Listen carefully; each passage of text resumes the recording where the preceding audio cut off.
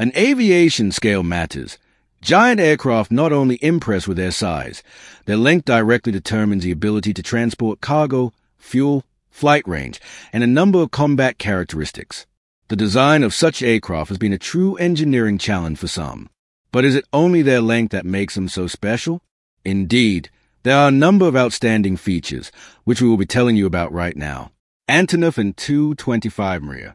Now, what more monstrous aircraft deserve the opening more than the An-225 Mriya? Its name, translated from Ukrainian, means dream and fully corresponds to the ambitions of its creators, whose labors ultimately resulted in the largest and heaviest aircraft ever built. Over 275 feet long, 59 feet high, and with a wingspan of 290 feet. The An-225's maximum takeoff weight exceeded 1410-1958 pound, comparable to the weight of more than 100 elephants, and its maximum payload of more than 551,156 pounds made it the world's highest lifting aircraft. Moreover, even when fully loaded, the An-225 could make non-stop flights over impressive distances, for example, between New York and Los Angeles. Although the original purpose of building this giant was to transport the first and only Buran spaceplane, which had been created to catch up and overtake the U.S. Space Shuttle, the An-225 made its first flight in December 1988, appearing publicly with a Buran attached on top outside the USSR during the Paris Air Show in Le Bourget in 1989. But the collapse of the USSR made its own adjustments to the Buran program, which quickly collapsed in 1993.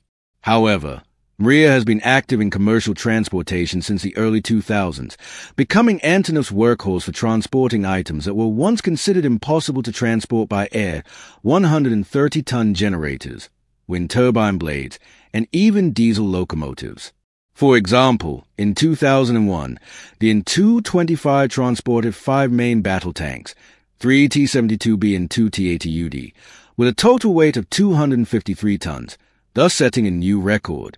In 2010, it transported the world's longest load, two test wind turbine blades, 138 feet long, from Tianjin, China, to Skrydstrup, Denmark. And in September 2012, the highest altitude art exhibition in the world took place on the plane, at an altitude of 3,331 feet above sea level during the Aviasvit XXI aerospace show at Kiev Gostomel Airport.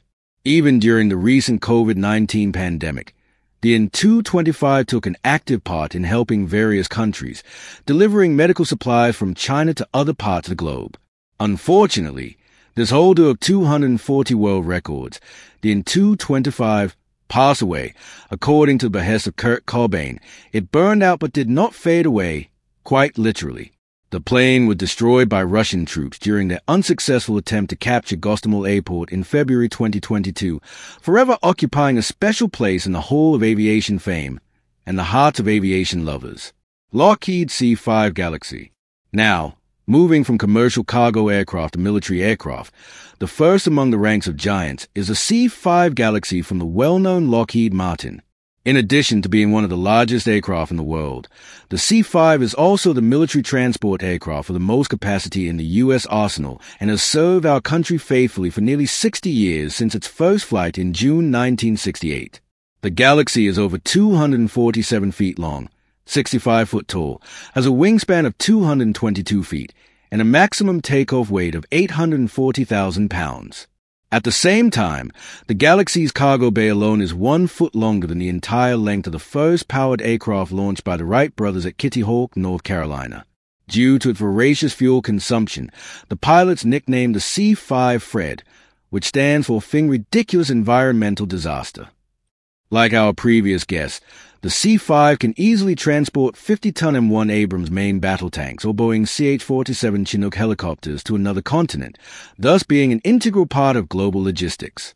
Overall, could you even find another candidate to transport 25,844,746 ping pong balls, 3 28 3 16 74 aspirin tablets, 3 2 22 1857 tortillas, or 2,419,558 golf balls. During its military glory since 1969, the Galaxy managed to take part in U.S. military operations in Vietnam, Iraq, Yugoslavia, Afghanistan, as well as in the Yom Kippur War and operations in the Persian Gulf. In October 1974, the Space and Missile Systems Organization successfully tested an air-launched ballistic missile.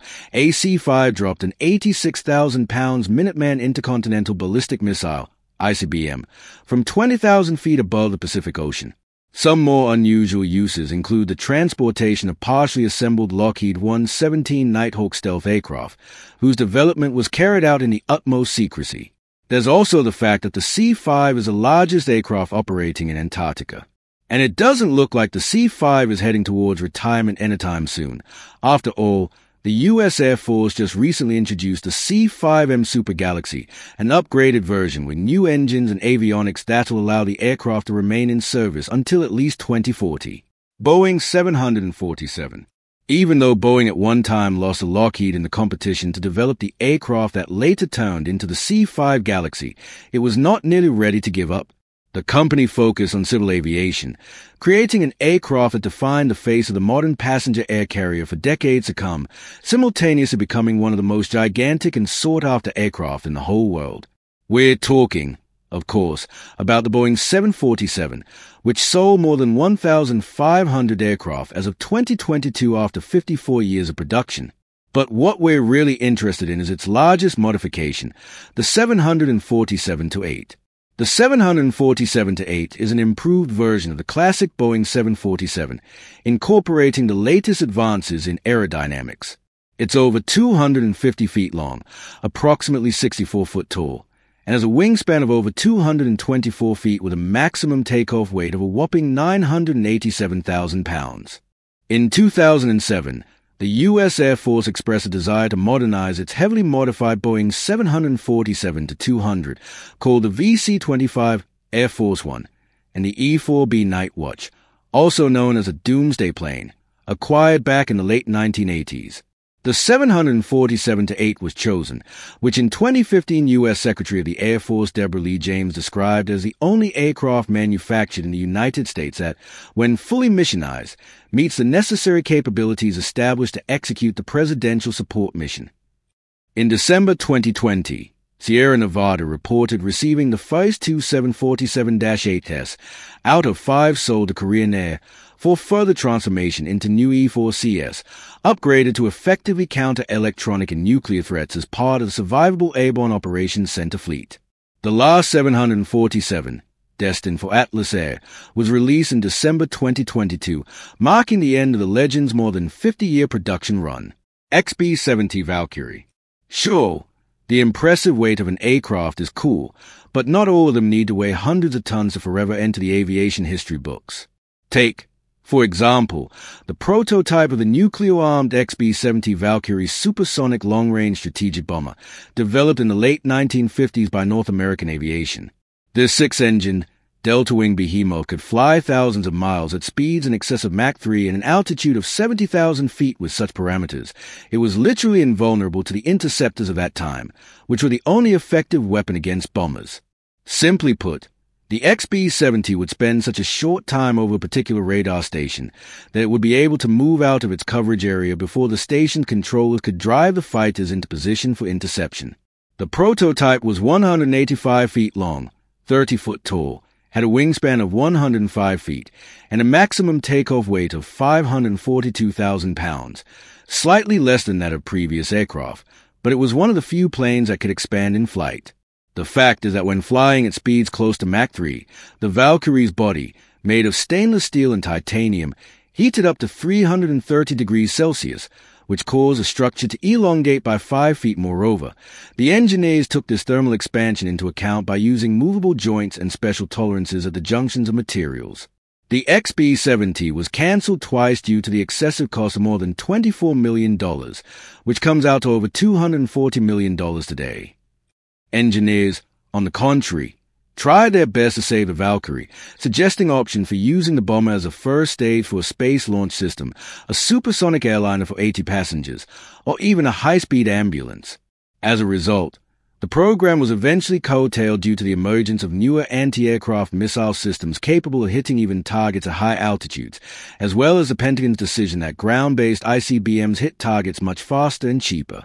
Tupolev Tu-160 Blackjack Another sharp-nosed participant in our video is the Soviet supersonic heavy strategic bomber, the Tupolev Tu-160 Blackjack, originally from the late 1980s. It was about 178 feet long, 43 foot tall, had a wingspan of 182 feet, and a maximum takeoff weight that exceeded even the XB-70 at 662,700 pounds. The Blackjack became the largest supersonic bomber in the world, with a variable wing sweep ranging from 20 degrees to 65 degrees. Due to the lack of external weapon suspension, the aircraft could carry up to 99,200 pounds of weapons. Although the Tu-160 is very similar in appearance to the U.S. Air Force's B-1 Lancer, its primary role is as a missile attack platform. But even though the Blackjack is bigger, faster, and has a longer combat range, it's still inferior to the Lancer in terms of combined payload when combined with external payload. From 1989 to 1990, it set a total of 44 world flight speed records in its weight category.